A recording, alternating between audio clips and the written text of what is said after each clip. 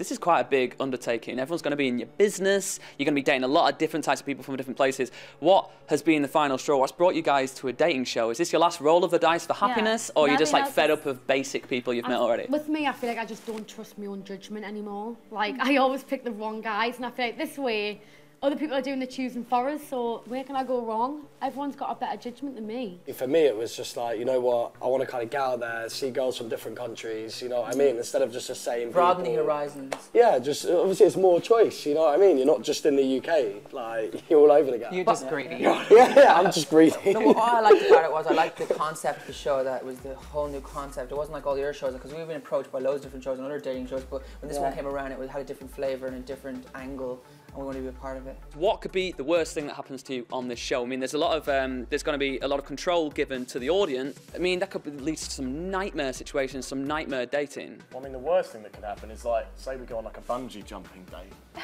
and we all die. Oh my god. I mean, that's the very my worst. god. Well, you, you asked what the worst is. I'm giving him the worst option. But then Okay. f- further back from that, it'd be like something embarrassing that's then Yeah, on yeah. TV as well. Another side question for John and Edward, guys.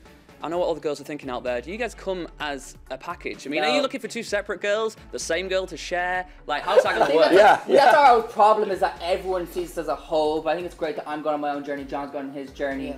And then we're each going to like And find it's good for the something viewer watching to see, because everyone knows our career and where we've come from. It's a new chapter for us. But um, yeah, we're- also we're not- involved. We're not those stars that use our personal life to get on in like our career. This like is, like, people like this actually like the first time we've ever been like documented talking about like personal stuff. And it's nice. I feel good expressing and talking about like dating and feelings and whatever. you're Yeah, because like we've always had to be like single for all our fans. Like they're always like I can have a chance with Edward. I can have a chance with John. Some But fans are like, Edward, you have to remain you. you they all can't think I'm so innocent. What is what is the perfect person? What is the perfect date uh, that can be the outcome of this show for you guys? I mean, my perfect man, we just all talked about Yeah. our perfect ideal. Um, mine would just be an awesome, amazing guy who can make more money than me um, and also is family friendly and just take care of his own and be impressive and intellectually smart. So that's just what I look for. Not many people have that. And how about you? Um, I'd just say a girl who is girl. attractive, funny, and kind. Yeah. That's good.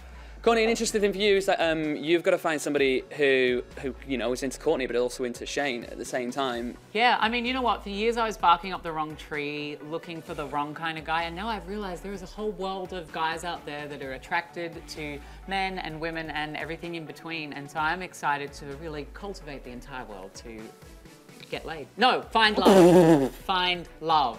Amoni, um, if, if it was left to the audience and there was some like big poll and you ended up on a date with one of the guys from Geordie Shore again, would you would you pack it in at that stage? Yeah, like I feel like I've had enough experience with them boys. It's definitely gonna go nowhere. So I'm excited about meeting some new boys to play with.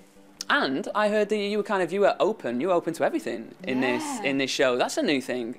Well, I just feel like like dating and love and relationships, it doesn't like people can be in love with someone. It doesn't really matter like if they're a girl or boy. Like it, if you're in love with someone, it doesn't matter like what genitals they've got. Do you know what I mean? So I'm open to girls and boys. Well, it's going to be an interesting journey. I'm looking forward to seeing what happens, guys. The best of British to all of you. I'll see you soon. Thank you. Nice one. Hey! Zane's got a, a, a great voice. I'll just leave it at that. I've wanted to meet you. Uh, yeah, we haven't met each other yet. Got some lipstick on your teeth.